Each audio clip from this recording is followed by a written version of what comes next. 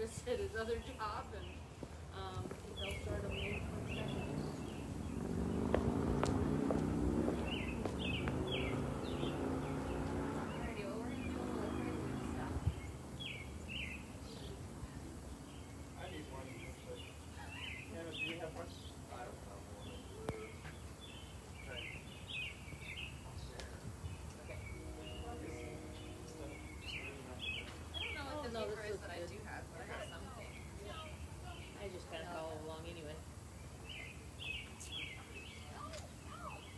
do know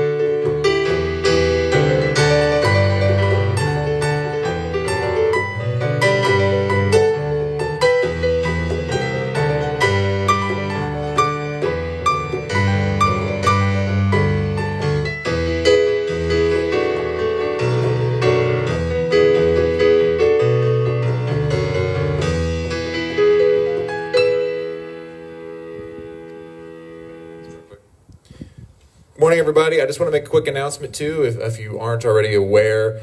97.1 is the radio station. If you're having trouble hearing at all, 97.1. There are also spots, um, if you're wanting to just hear from your car, you can still come up closer if you need to. Um, you can park along the sidewalk here. There's also uh, three or four close parking spots if you're needing to hear any better, but 97.1 as well. But be mindful of your car battery.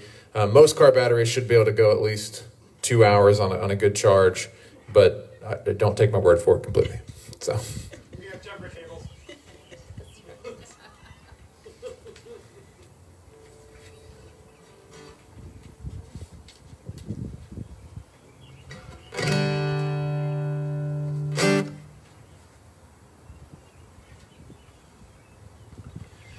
So, also um, a couple announcements before we get uh, begin here.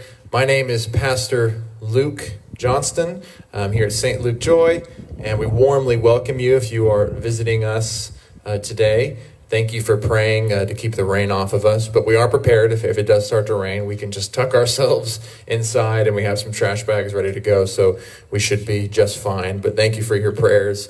And it's wonderful to have the rain, the weather, the birds.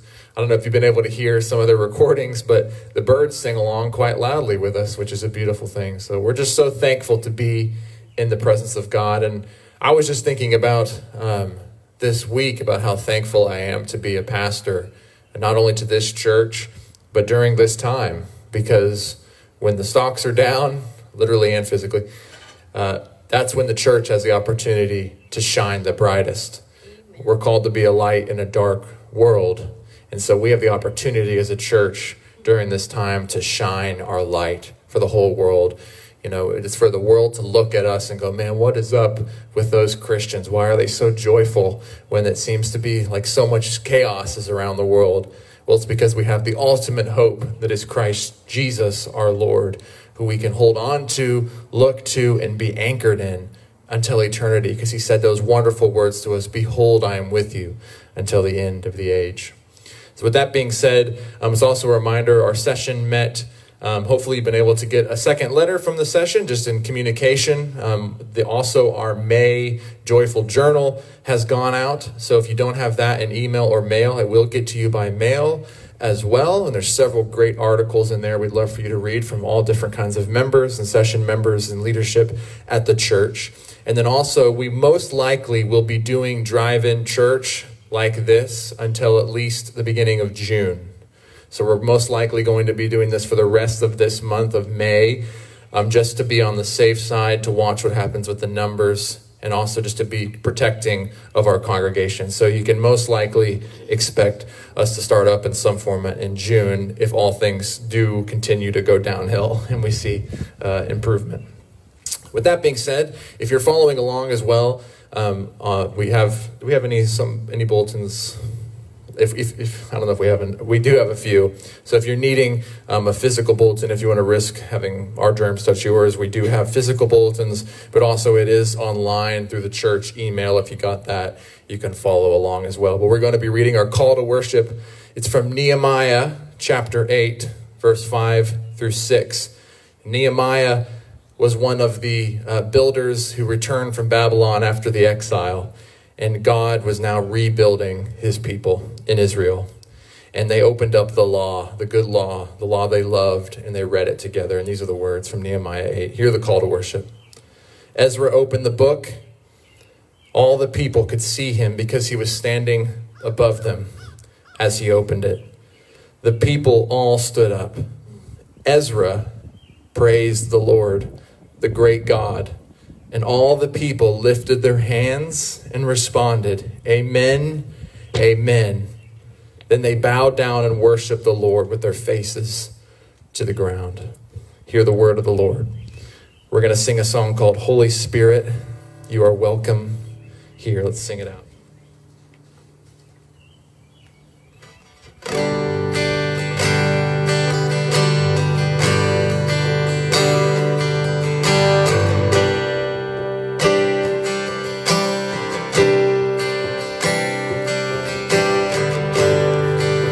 There's nothing worth more that'll ever come close. Nothing can compare. You're our living hope. Your presence, Lord. I've tasted and seen. I've tasted and taste of love. My heart becomes free And my shame is undone. In your presence, Lord. Say, Holy Spirit, you're welcome here.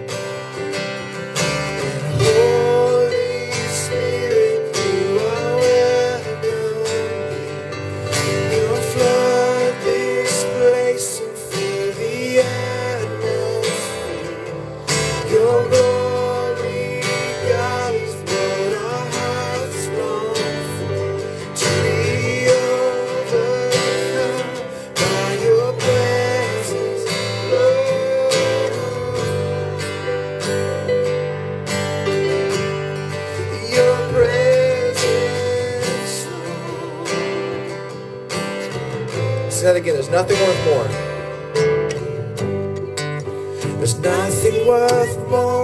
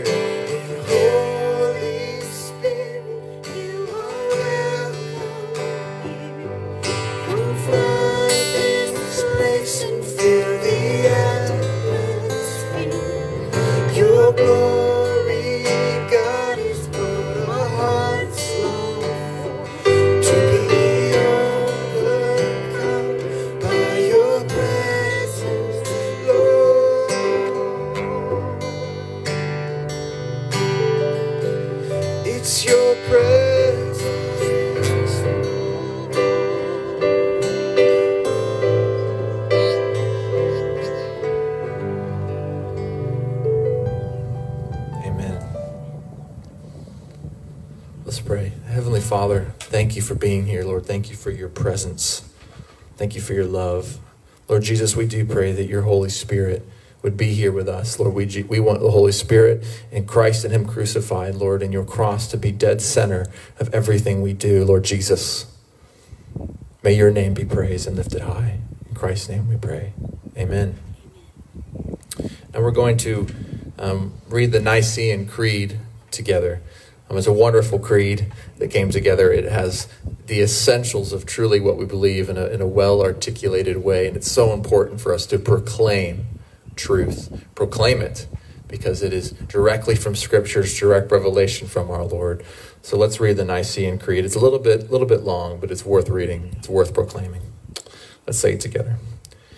We believe in one God, the Father Almighty, maker of heaven and earth, of all things visible and invisible, and in one Lord Jesus Christ, the only Son of God, begotten from the Father before all ages, God from God, light from light, true God from true God, begotten, not made, of the same essence as the Father.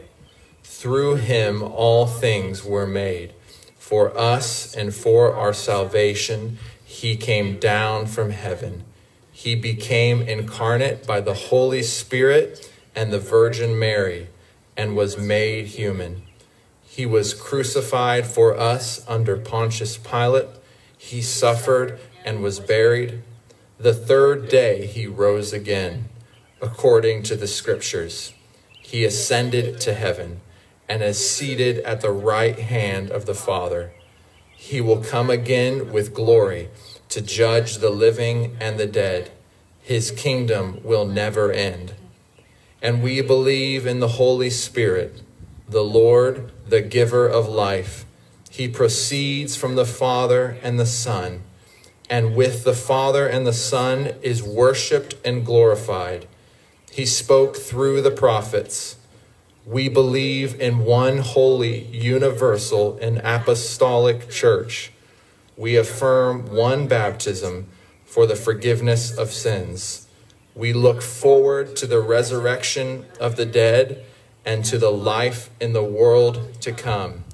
Amen. Praise be to God. Hear now the call to confess sin from Proverbs 28 13. Whoever conceals their sin does not prosper, but the one who confesses and renounces them finds mercy. At this time, let's take this opportunity to silently confess our sins together to the Lord. Let's pray.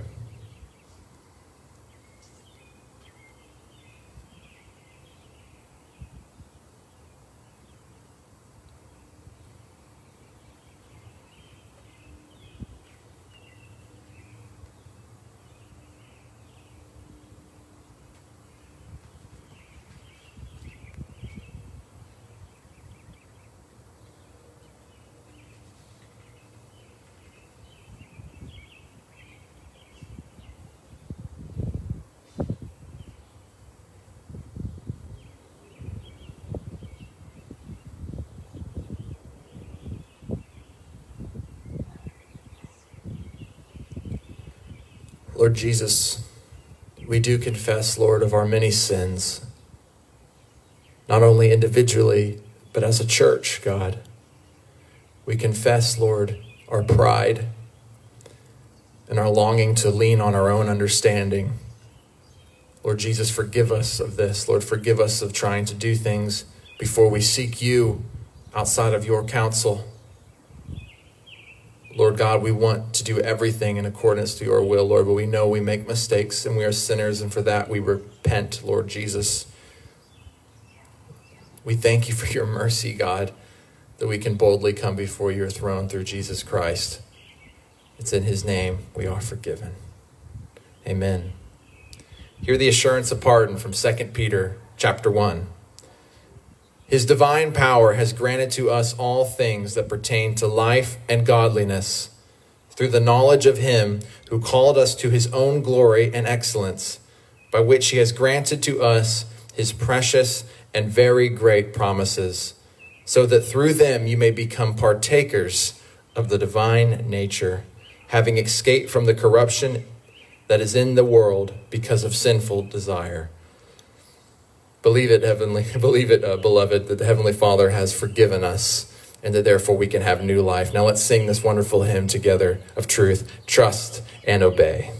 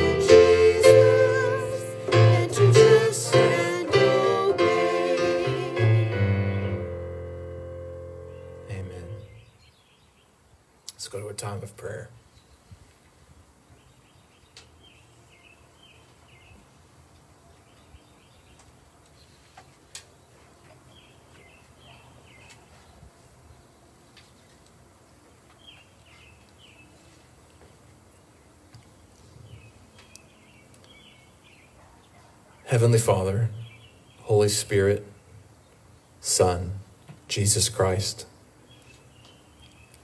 Lord, we glorify you. Lord Jesus, we long for your will to be done, Lord, as you told us to make disciples, teaching everything you have commanded us, going into all the world by the power of the Holy Spirit, Lord Jesus, through the will of the Father. And we pray, Lord, that today, someone here, Lord, who does not know you, will hear your voice for the first time. Lord Jesus, we pray that your will will be done, Lord, for the sheep that you were calling right here in this pasture, in this parking lot. Lord God, we pray for this community, for here in Kansas City North, Lord, for all that is beyond, Lord, here in the Northland. We pray that your Holy Spirit would sweep through, Lord Jesus. We pray for each church that is proclaiming your name, reading your word this morning, that you would bless them, Father. Lord Jesus, we ask for revival. We want to see revival come, Lord, to our people, to our country, to this community, to this neighborhood, Lord. Even if it's, Lord, we, revival in the hearts of one or two, Lord. We know that you are at work, and we want to join you where you are at work. Lord God, we know that all things that you do, Lord, in our lives, they work together for those who love you, Lord, and we do love you, and we trust you. Lord Jesus, help us to have faith. Help us with our lack of faith. Help us in our obedience, Lord God. We want to pursue holiness. We want to be after the things that you love. We want to be after the fruits of the Spirit, Lord Jesus. And I pray that you would shake up each and every person here, Lord. Every person watching online, every person, Lord, who can hear this radio, every person sitting in their car. Lord Jesus, may this be the day that they say there's no going back that they will commit their lives wholly and fully to you, putting you in front of all things. Lord God, we want this to be the day that we continue to renew our covenant with you, Lord, that we are your people, a new covenant people, sanctified by your glorious fire and by the water of baptism, Lord. We go into the new world as a new people with allegiance to Jesus Christ and Him crucified. Lord God, we want that to be our message to the end of our days that Jesus was crucified and has risen, and therefore there is hope, there is, there is reason to believe, and there is new life. We can be made new, Lord Jesus, and we thank you for that. We thank you for what you did on the cross. And Lord God, we pray for our congregation today, Lord, for those that are struggling, those that are having physical ailments, Lord God, those that are discouraged, those that might have depression, Lord, and anxiety, Lord. We cast that out by your authority in the name of Jesus Christ. Lord God, I pray for peace, peace for your people, Lord, peace over your flock. Lord, right now, would you rest upon them and bring them peace that only you can give?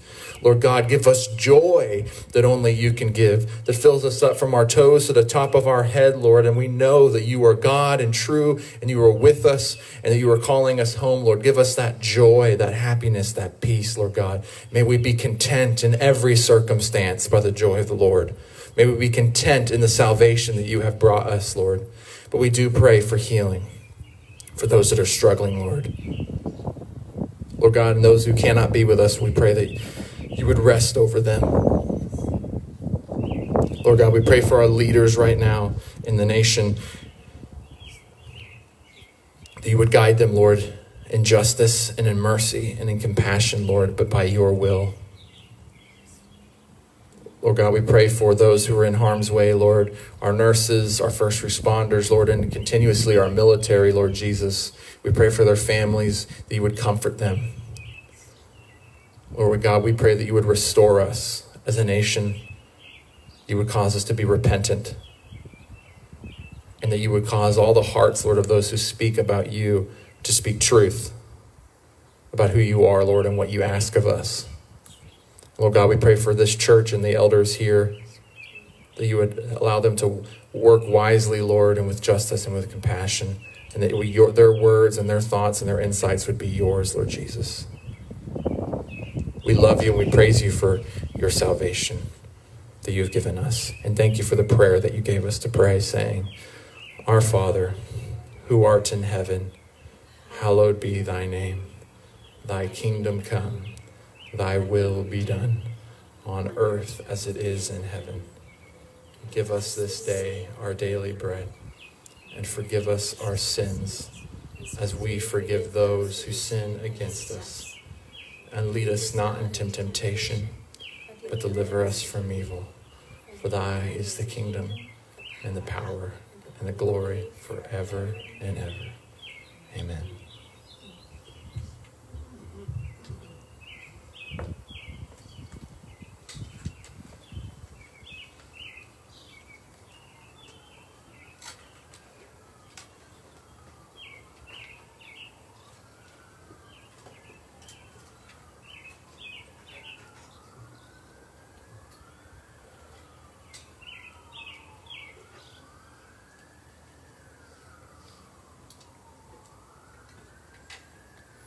Good morning again, church. My name is Pastor Luke. If there's anyone joining us or can hear us, um, or even online, we warmly welcome you and thank you for being here and thank you for being with us in worship.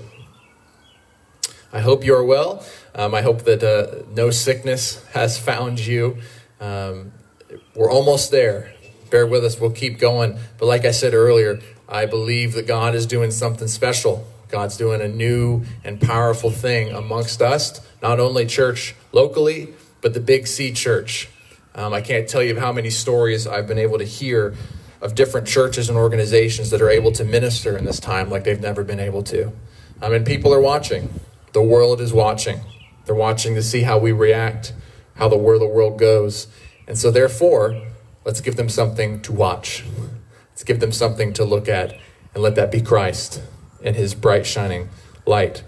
Of course, we've been going through the Gospel of Mark, and I hope that you have been enjoying this as much as I have. The Lord has been speaking to me in powerful ways um, through reading this word. So I hope that this morning you don't hear any of my words or Luke or anything about me, but that you hear directly from God the Father through the Holy Spirit um, as we read these scriptures this morning. So we're in Mark chapter 3, verse 20 and 34. So last time we actually had the uh, verse 20 and 21 uh, in part of the passage, but I included it again this time because it fits better with, with this story. So you're getting a double dose of uh, Mark chapter 3, verse 21.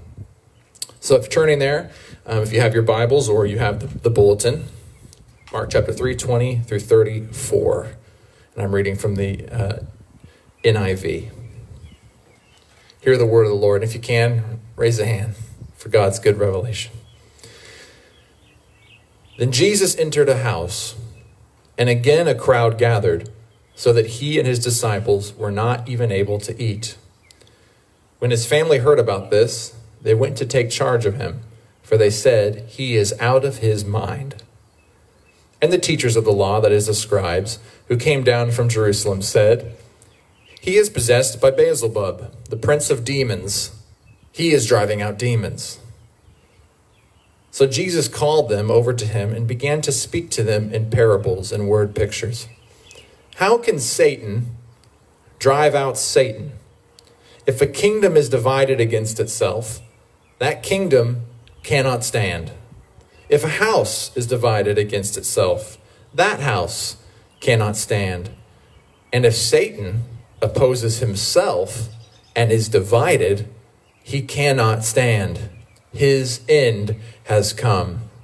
In fact, no one can enter a strong man's house without first tying him up.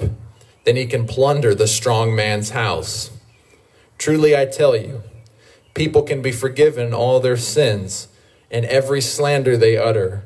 But whoever blasphemes against the Holy Spirit will never be forgiven. They are guilty of an eternal sin.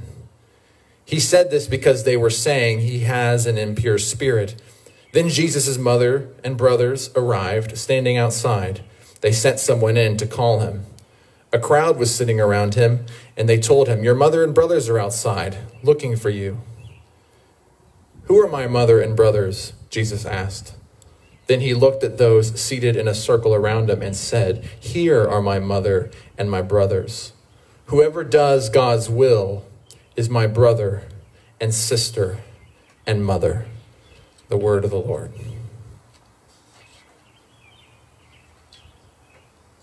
So we, we've been hearing this term a lot lately. Um, it's new to me, but it's a, an exciting phrase. It's called social distancing.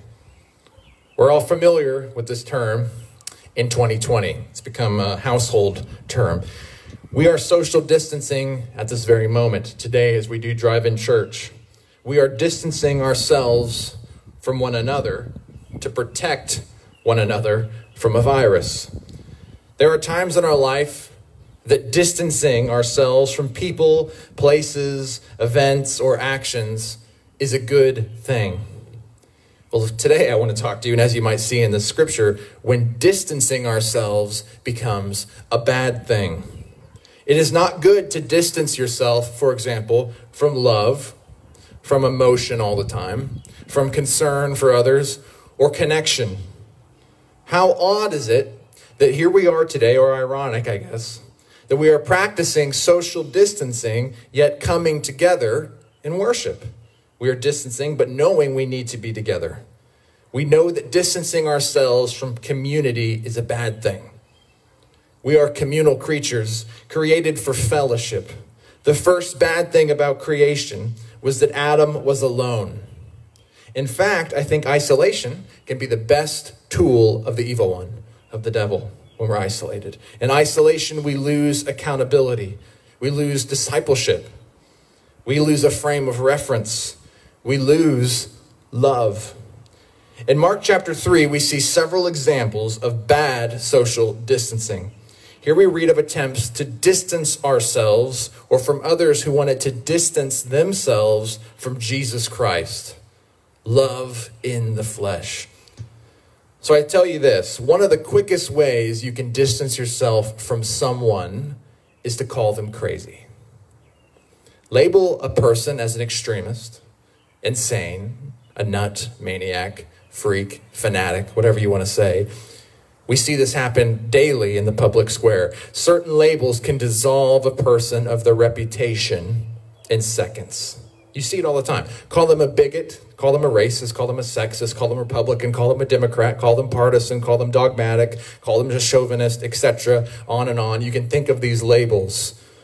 We call these this method labeling someone, distancing ourselves from someone. We use a loaded word to create distance between yourself and said person. The more loaded the word, the greater the distance. You see this all the time. I am distancing myself from this person who is a bigot. You know, and we and that word, oh no, you don't want to be a bigot, right? That's a bad thing to be. So therefore that word is loaded and you can if you you can just throw it at people like a bomb. We do this with all kinds of different words. That person is stupid. You know, these are these are these are cruel ways of treating other human beings, but we love to do it. And it's quick and it's easy and it's effective for many people. Words matter, labels matter, and they're dangerous. Human beings love to compartmentalize everything. It is easy to say, ah, this person holds a view I do not like or understand. Therefore, they must be crazy. Surely you've done this. I know I've done this. It's a sin. This kind of response is frankly cheap and lazy. Why? Because it requires zero self reflection zero education, zero dialogue, or even better yet, zero listening. Some of the greatest tragedies in human history were due, were due to verbal distancing, social distancing. For example, in the 16th and 17th centuries, the native peoples of America were called savages. What a loaded word. Settlers from Europe were able to quickly justify all kinds of crimes by merely changing the way we think about other human beings. Not everybody did this, but people were able to do this. And it's happened throughout time, throughout history, in a variety of different locations by using words, by publishing words. That person is very different than me. We say it's because they are a savage. Nations across the ocean or across the plain or wherever it may be could literally and mentally distance themselves from any tragedy or any crime done to that native person or that person they don't understand by merely using words. Words matter, labels matter. Some people are indeed, okay, I don't want to not say this, some people are indeed out of their minds, crazy. Some individuals have earned the right to be called insane, nuts, or savage by their shown behavior. Yet, just like any diagnosis, we must look for clear pieces of evidence, trial by jury, or careful study by experts in the field. For example, if I, a pastor with zero medical experience, started diagnosing random people with all kinds of illnesses or diseases or conditions, it would be said, Luke is out of his mind. Where does he get the right? Misdiagnosing a person is a grave issue. Such an error can have lifetime effects on a person and the people around them. You've probably seen this with others. They've been misdiagnosed with the wrong, someone who might be said to have, have cancer or some issue, and they did not, and they were given chemo or something. It completely can affect and alter their life. It can affect those around them.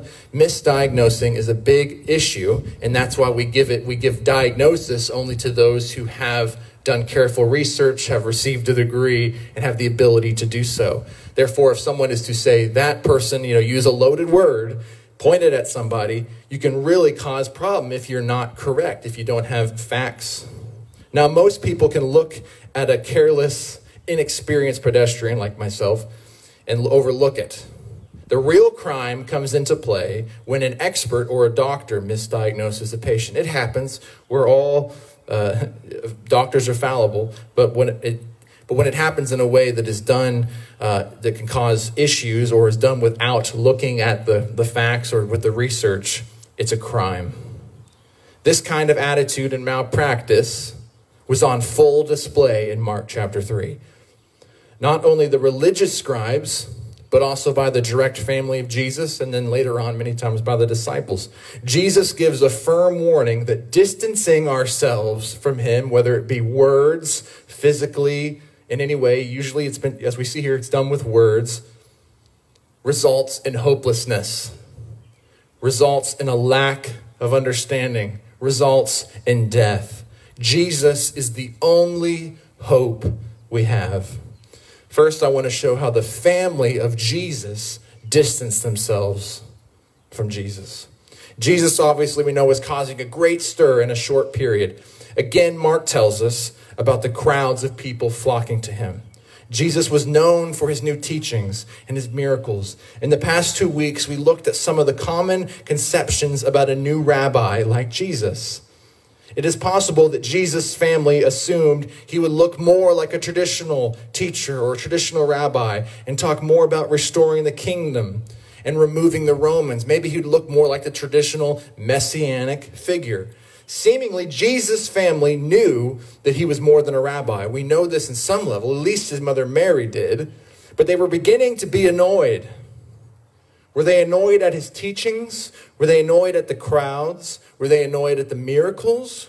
Maybe the fighting with the Pharisees, or the fact that Jesus just called 12 random Joes to be his disciples. Like, oh my, why'd you, why'd you have to do that, Jesus? You missed a perfectly good example. You a perfectly good opportunity to have uh, more prestigious people in your group. Maybe they were upset about that. There was probably a mixture of factors that led to the statement, he is out of his mind. As if to say, okay, Jesus, this game has gone far enough. Quit pushing it. Act a little bit more normal. We get you're the Messiah and all that, but just you're, you're kind of making things a little bit difficult for us. With this statement, Jesus' family was writing Jesus off. Essentially, what they were saying is they did not believe him to be the Son of God. Jesus was not turning out to be who they thought. His messianic ministry was not going the way they thought. Jesus is doing and saying things that make them nervous and have disrupted, that word, disrupted their lives. You can feel in these words the embarrassment. Because it's like, okay, Jesus is in there talking. Okay, someone, you know, you ever been on when someone's on the phone with someone who you just can't get off the phone, or you're stuck in a conversation and you can't seem to get out of that conversation, and maybe your friend is nearby, and your friend, you know, comes in with, hey, there's a call for you, or hey, don't forget that thing you were supposed to do when there was no thing, and they rescue you from the situation. Well, they felt like they had to do that for Jesus in some way, and not actually for Jesus. It kind of appears in the scripture that they felt like they had to rescue the Pharisees. from Jesus. It seemed like they had to rescue the people around from Jesus because he was preaching some hard stuff. He was just talking about grieving the Holy Spirit. So his family runs in because they were seeing that things were getting a little bit annoying and disruptive, and they felt the need to step in front. He was not fitting into the cultural norms. Now the scribes, the scribes, who were not necessarily the Pharisees, these were the teachers of the law. They were a little bit more uh, like the, uh, the academic folk of the day. They were coming into town to address Jesus. And you could hear them saying, Jesus, his family saying, Jesus, we did not sign up for this part of the experiment. Therefore, what happens? What happens? They distance themselves from Jesus. You can almost see the press conference. Imagine all the news cameras of Galilee aimed at the family of Jesus of Nazareth as it runs across on the screen. They stand there holding hands with their lawyers to read a statement. We want to publicly apologize for the words of our family member, Jesus. We were unaware of his secret thoughts and true intentions. His actions in no way reflect the culture, values, or ideas of this house. Our thoughts and prayers are with the Pharisees and scribes. He has offended. He is out of his mind. Please, beloved, see the truth in what went on that day. You see, you see it all the time on the news or in books, wherever you may get your news. You see a similar thing. I want to distance myself from this fanatic. How often do we treat Jesus the same way? Does this hit home? I hope it does. I hope it does. He ha- has Jesus ever been too personal with you? Has he ever asked too much? The words of Jesus throughout history have been a stumbling block to many. His words demand everything of us. We cannot water them down. Jesus says emphatically, I am the way, the truth, the life, in John 14, 6. As the disciples said in John 6, Your words are life. Where else can we go? I hope the words of Jesus make you uncomfortable. They are meant to. Jesus' words are meant to make you uncomfortable in the best way possible. Jesus was not just another rabbi. Following him is not just another club to join. He is not merely a lifestyle coach or a motivational speaker. Jesus calls for us to die to self and be born again. Dietrich Bonhoeffer said it this way When Jesus calls a man, he says, Come and die. This is the reality. Jesus always, you know, there's that, that picture of our lives as a home, your life a house. Think of your, your body, your realm of influence as a home. And Jesus says in Revelation, I stand at the door and knock. Anyone who opens the door, I will come in and eat with him and he with me. Therefore, when you open that door, we have presented our house in an appropriate way, but everyone has that closet that they put all their stuff in when, when people come over. Right? We all have that closet that we shove all of our junk into. We clean the rest of our house, but you got to have somewhere to put the junk. I mean, we have it at our house with all of Nora's toys, for goodness sake. You have to put the junk somewhere. Now, Jesus comes in our house and he immediately starts opening doors and he starts going into the basement and he finds that closet as the first place he goes to. And we are offended, right? We talked about Jesus being a thermostat. He changed the temperature of the room. And this often offends us when someone goes and just starts snooping around in our house. But that's what Jesus does. And he does it so that he can help you clean it out. He does it to offend you, yes, but ultimately to give you life, to change you, to restore you. So I hope that this hits home. Even though Jesus had a biological family, they were spiritual children of sin, of the devil.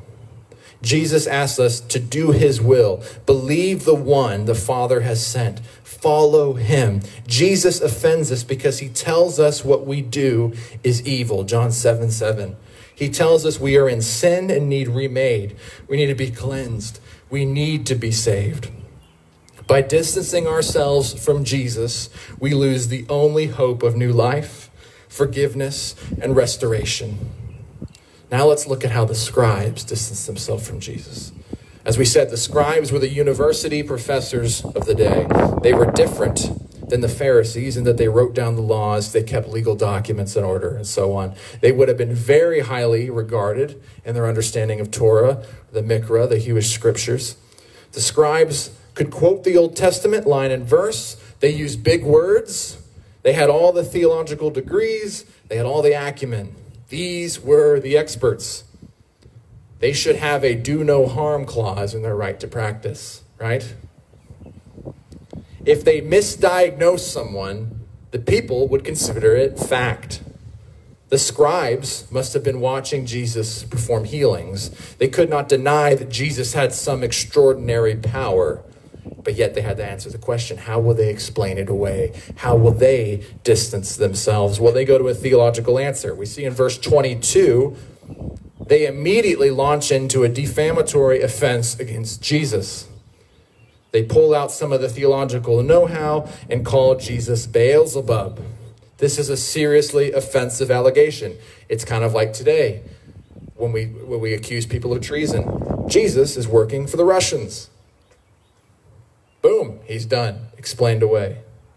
Beelzebub derives from the name Lord of the Flies. This is a false god of the Ekronites, as we see in 2 Kings chapter 1. This is a Philistine god, formerly worshipped in Ekron and later adopted by the Aramaic, uh, Jewish religions as the principal leading demon. Therefore, Beelzebub is a title of utmost contempt. Beelzebub was to them and would have been understood by those around as the Lord of demons. The scribes were essentially calling Jesus the devil himself. As we see, he says, by the prince of demons, by the Lord of demons, the devil, he drives out demons. What an offensive statement. If you want to write someone off or distance yourself from them, this was the way to do it. call them the devil. Jesus immediately calls out their absurd use of logic. Now, first, I want to point out, as we talked about misdiagnosing someone and distancing yourself from someone, right? So these were the scribes, these were the doctors in a sense, and they just said Jesus has cancer, just like that. The strongest word they could use, the quickest way they could write him off, they used it. And of course, the people are going to go, well, they said it, they know it, that must be true. So Jesus calls out their use of logic. It's absurd. Why would Satan work against himself? Ironically, Satan means deceiver. Therefore, why would the deceiver deceive himself? What does what good does this possibly do? Jesus uses the analogy to emphasize this point of a house. He says, In fact, no one can enter a strong man's house without first tying him up. Then he can plunder the strong man's house. Verse 27. Jesus has come down into the flesh, in the incarnation, into the dominion of the strong man's house. Jesus is working directly against Satan. Remember last time we talked about you will drive out demons? He was telling his disciples, You will do what I have done. Jesus then is saying he has tied up Satan, casting out demons, showing authority, and taking back what is his. He's plundering Satan's house. Remember, Jesus is not a wimp. He's the stronger man. The truth is that because of the sin of Adam, we were born in Satan's house. We were born in sin. But when Jesus comes into our life, there is never a reason for someone to be any longer in Satan's house. Jesus has plundered all of Satan's spoils, all of sin's spoils. Jesus goes on to comment on a serious error and sin the scribes are flirting with. They were not only distancing themselves from Jesus, but they were distancing themselves from the Spirit of God. The scribes declared that Jesus was under the influence of a demonic spirit. Say what you will, Jesus says, about the Son of Man, but when you attribute the power of the Spirit to the power of the devil, you grieve the Spirit and therefore blasphemy, lie about the only saving power we have. The only saving power we have. We understand what blasphemy of the Holy Spirit is by first understanding what the ministry of the Holy Spirit is all about. Regarding the ministry of the Holy Spirit, Jesus said, When he has come, the Spirit will do what? He will convict the world of their sin, of righteousness, and of judgment. John 16, 8. And he will testify about me. John 15, 26. By attributing the Spirit's work to the work of Satan, you are denying the only saving hope you have. You cannot be made aware of your sin and therefore responsive to the call of Christ unless the Spirit has first touched your life. Remember, we talked about the Spirit's the one that calls. Last week we said that the Spirit is the one that calls. Therefore, if you, if you have denied the Spirit, if you've grieved the Spirit, you'll never be aware of your sin. And therefore, you'll never repent. And therefore, you'll forever be lost. To push away the Spirit is an eternal grave sin. We cannot be made aware of our sin. We're about responsive to the call of Christ unless the Spirit has first touched us. Therefore, you cannot be forgiven outside the Spirit's work. Why? Because you will never ask to be forgiven. Without the Spirit, you will never be aware of your sin. You'll never be aware of who Jesus truly is. He'll always be that radical rabbi. The scribes were close to permanently distancing themselves from Jesus by cutting the only hope they had out of the equation. Henry Ironside says this These words were never intended to torment anxious souls honestly desiring to know Christ, but they stand out as a blazing beacon, warning of the danger of persistently rejecting the Spirit's testimony of Christ until the seared conscience no longer responds to the gospel message. Therefore, beloved, if you are truly in Christ, do not be worried about committing this sin as a believer. The fact that you worry at all is proof that you will not and will never commit such a crime against God. Your worry and conscience is a sign of the Spirit of work in you. Your awareness of sin at all is a sign of the Spirit's work in you, making you aware of sin and your need to repent. Even though the scribes had greatly insulted Jesus, he still had love for them to warn them about their actions. We do not know if they continued to harden their hearts or not.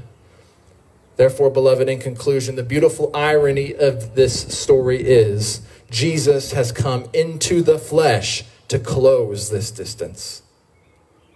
The distance we long to create from Him, whether it be in our words, whether it be in our theology or in our action. Sin is the, is the thing that has distanced us from God.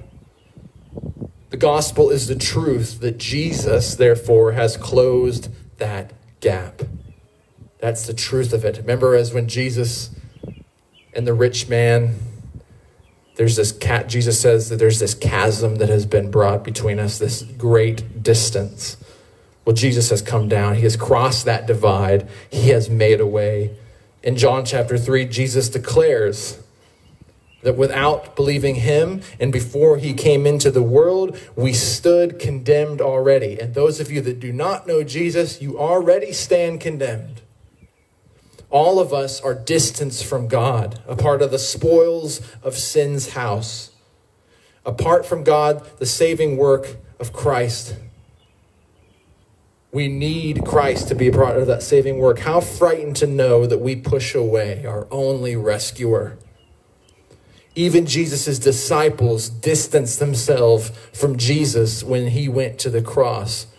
Peter followed Jesus, it says, just closely enough, but at a distance. Matthew 26, 58. Peter followed Christ as he was being taken away, but at a distance. Just far enough behind to not be considered with Jesus. He loved Jesus, but he kept his distance. Does this hit home? Do any of you love Jesus, but to a certain extent? Is there anything that can happen in life that could cause you to go, whoa, whoa, whoa, Jesus, that's a little bit too far? I'll follow you, but not that far. We're talking about death, being shut down. I don't know, being shamed by my friends, having my kids not like me. What are we talking about here, Jesus? Have you truly counted the cost? Or do you just want to keep your distance? Do you want to follow Jesus as long as it's convenient? I know I've been that way many times in my life. Well, this is convenient. Following Jesus is rather easy, it's rather comfortable, it's rather convenient. But that's not what Jesus is asking of us. He's asking of us to follow him, to listen to his will, and to not be afraid of wherever that may lead. Yet, even as we said these things, even as Peter followed behind, and Peter didn't want to die because of that love, not yet anyway. Jesus carried on and died for us, as Ephesians 2:13 states. But now in Christ Jesus, you who were once far away have been brought near by the blood of Jesus. This is the process of discipleship. It's getting close to Jesus, coming near to Jesus, closing the distance. Where we become more and more willing to identify and to be identified with Jesus and his agenda over our own agenda. This is why Jesus said we must love him over everything, even our own life. Luke 14, 26. We have the Spirit of God, beloved, to help us. We have an advocate. We are not alone. This is an extraordinary claim. And it's a claim that caused many people to distance themselves or to walk away from. How, therefore, will you and how will we answer this Jesus of Nazareth? Will you dismiss him as a fanatic? Will you dismiss him as insane? Will you dismiss him as the devil? I agree with what C.S. Lewis said when he made the argument this way. We only have three options when it comes to Jesus. First, if he claims to be God, which he did, and yet in fact is not, he has to be a madman or a lunatic, right? As his family said, he's out of his mind. Second, if he's neither God or a lunatic, he must be a liar, deceiving others by his lie, right? The father of lies, Beelzebub. Third, if he is neither of these, he must be God. You can only choose one of these three possibilities. If you do not believe that he is God, you have to consider him a madman. If you cannot take him for either of the two, you have to take him for being a liar. There is no need for us to prove if Jesus of Nazareth is God or not. All we have to do is find out if he's a lunatic or a liar. If he's neither, he must be the Son of God. And you notice that the Pharisees and his family knew they couldn't just call him a good teacher. They couldn't just call him a rabbi because he was making extraordinary claims and he would go on to make extraordinary claims. Therefore, do not write him off. Do not distance himself. Believing Jesus is a madman or a liar is a fine way to distance yourself. The claims of Jesus are astonishing, they're life changing, they're extraordinary ordinary, these claims will also bring you suffering by this world.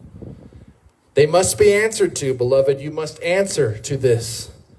Either we see his words as insane or lying, the word or the words of life. They're either the works of the devil or they're the words of true life. For those who have faith, who do his will, will find him. They are true children of God. Are you following closely to Jesus? I can't emphasize this question enough. Can you, can you, your children, or your bank teller, or your lawyer, or the doctor you meet with, can they tell that you and Jesus are close? Is your light shining before them? Does your neighbor know that you and Jesus are close? Or do you only follow as long as it is comfortable? Do you keep your distance? Therefore, if, if this is true, and I know it is because it's true of me, repent of your attempts to distance yourself from God while it is still the day, while there's still time to be forgiven of our sins against the Son of Man. Hear the promise of Christ in John 5 24. This is what I'll end with. Beautiful verse, and it sums up everything we've been reading today. Jesus says this very truly, fact. Here's a fact for you. I tell you, whoever hears my word and believes him who sent me has eternal life and will not be judged, but he has crossed over, crossed the divide from death to life. Beloved, in Jesus, the distance, it's closed. Believe, follow, repent, renew, restore. Let's pray.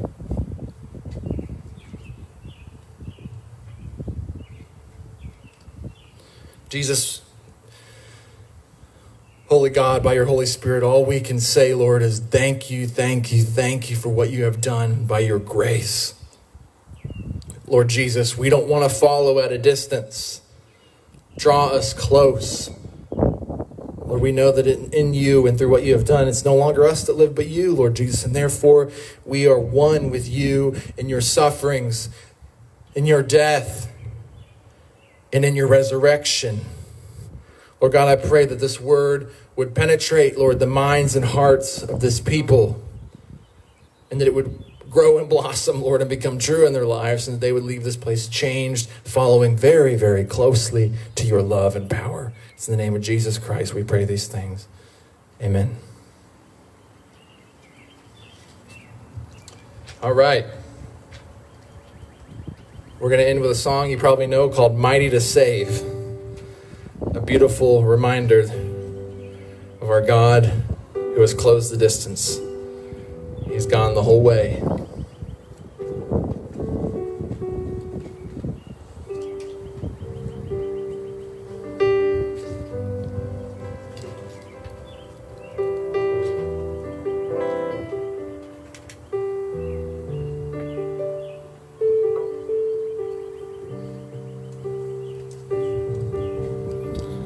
Sing it out loud and proud. And sing it like you mean it.